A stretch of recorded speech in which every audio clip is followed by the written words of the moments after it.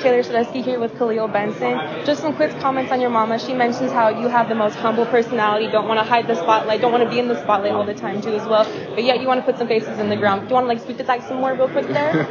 um, I mean, I come from backgrounds that my mom, my grandma, and my grandpa, uh, as well as other influences as well.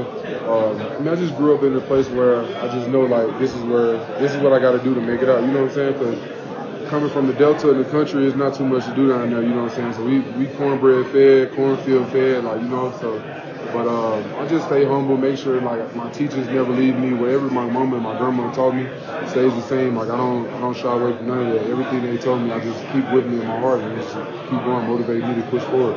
So my mama been a big influence as well right now. So I love I love her so much. I mean, I'm just like you know, it's it's crazy because she's doing what she's doing, you know what I'm saying? I appreciate her so much, especially just being my support, you know what I'm saying, from a long distance as well. So it means a lot. So mm-hmm. she mentioned she's going to be at every single game this year. That'd be really exciting to oh, see, yeah. right in the stands. Oh yeah, most definitely. I'm ready. To, I'm a hero for for sure. I'm a hero over everybody. I'm a hero for sure. Awesome. Every game I've been in, I've heard my mama for real. So so I know that she's going to be there for me, and then I, every time I hear it, it's just my motivation to keep on going. So.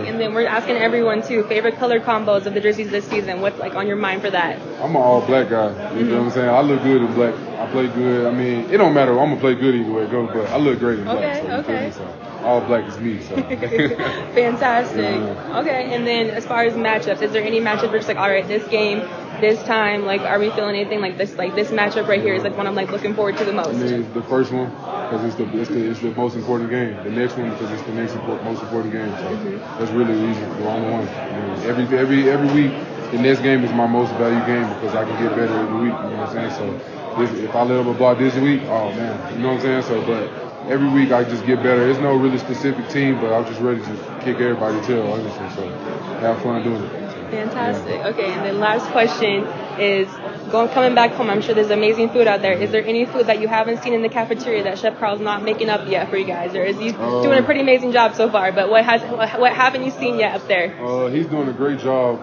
all the way. Only thing, I mean, the food is there. I just, you know, me, you can't beat the southern, the southern house, you know what I'm saying, the southern foodness. You ain't beat my mama hands, you ain't gonna beat my grandma hands, you know what I'm saying? So, uh, I think probably just like probably candy M's or something like that, or cabbage or something. But he cooks all that too, though. But it just be like sometimes I just be needing from my mom or my grandma, you know what I'm saying? Because it just be different. Fantastic. Thank you so much, Kahlil. Thank nice you. to meet you. Nice to meet you too as well. Thank you.